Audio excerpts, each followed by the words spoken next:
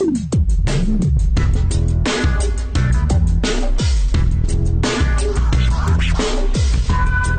entry into Tempero, the Goan Portuguese restaurant at ITC Grand Goa, made me realize how much I had missed it.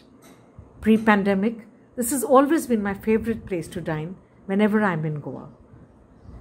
Enjoying Chef Sarita's food is an absolute luxury right now, and I did just that.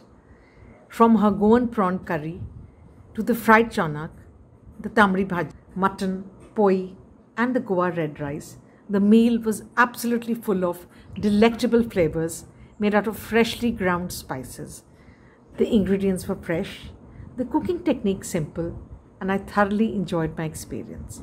What's more, at ITC Grand Goa, you can actually sit back and enjoy your meal reassured of safety and hygiene protocols, and that's exactly what I just did. If you enjoy watching Mini's Food Fundas, do subscribe to my channel.